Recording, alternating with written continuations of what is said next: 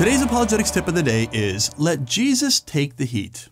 Whenever you're nervous about sharing a politically incorrect view about your faith, put the blame on Jesus.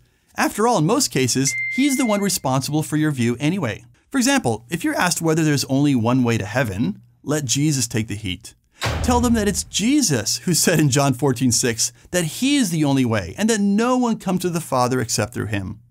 Or if they ask your opinion on homosexuality, tell them that it's Jesus in Matthew 19, 4 through 6, who said it's about one man with one woman becoming one flesh for one lifetime. In these cases and others, you can remind them that since you're a disciple of Jesus, you have no choice but to adopt his view. You didn't make this up, Jesus did. So let him take the heat for your views.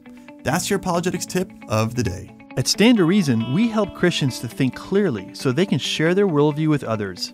If you want to see more videos like this one, go ahead and click the subscribe button.